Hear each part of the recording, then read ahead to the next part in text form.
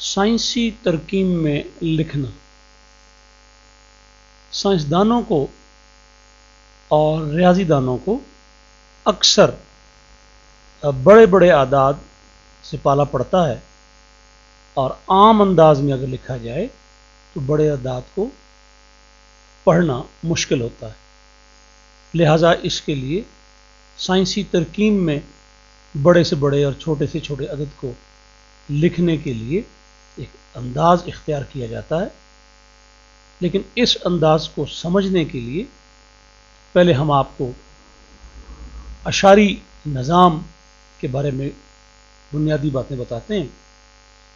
یاد رکھیے کہ پاکستان میں اور دنیا کے اکثر ممالک میں آدات کے لکھنے کا جو نظام زیادہ تر رائج ہے وہ آشاری نظام ہے۔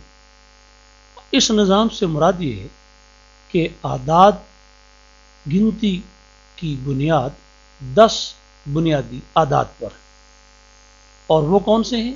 زیرو سے نائن تک۔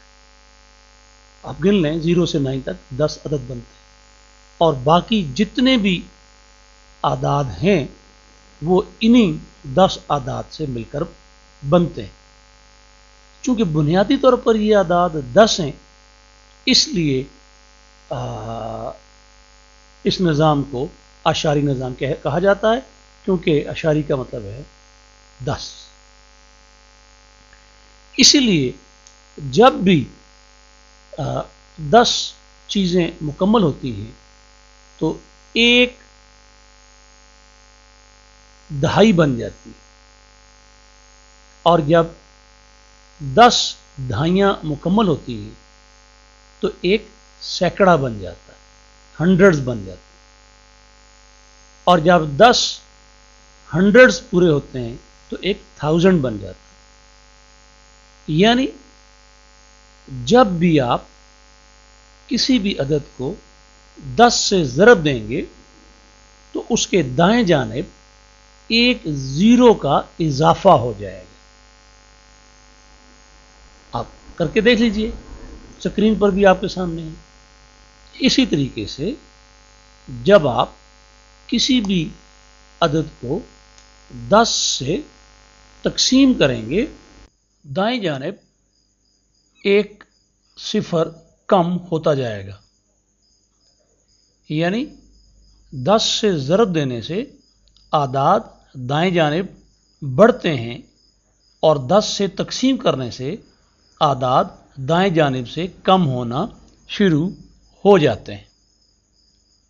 یہ ہے سائنسی ترکیم کی بنیاد۔ اب اس کے ساتھ آپ یہ بات یاد رکھیے کہ جب دس کو ایک دفعہ ضرب دی جاتی ہے تو وہ عدد دس ہی رہتا ہے۔ لیکن جب دس کو دو دفعہ آپس میں ضرب دی جاتی ہے تو اس میں دو صفر کا اضافہ ہو جاتا ہے۔ اسے ہم دس کی طاقت دو لکھ سکتے ہیں۔ لیکن جب دس کو تین دفعہ ضرب دی جاتی ہے، تو دس کے ساتھ دو صفر اور آ جاتے ہیں یعنی کل تین صفر ہو جاتے ہیں، جسے ہم دس کی طاقت تین لکھ سکتے ہیں۔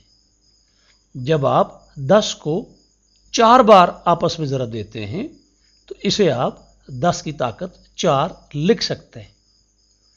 یعنی جتنی بار آپ دس کو آپس میں ضرب دیتے جائیں گے، اتنی ہی دس کی طاقت بڑھتی جائے گی۔ اور اسی طریقے سے جب آپ دس کی طاقت کو ہر بار دس سے تقسیم کرتے جائیں گے، تو دس کی طاقت ایک ایک ایک ایک کم ہوتی جائے گی۔ یہ ہے سائنسی ترکیب میں لکھنے کی بنیاد۔ اب ہم اگلے ٹیوٹوریل میں آپ کو یہ سکھائیں گے پارٹ ٹو میں کہ کسی بھی عدد کو سائنسی ترکیب میں کیسے لکھا جاتا ہے۔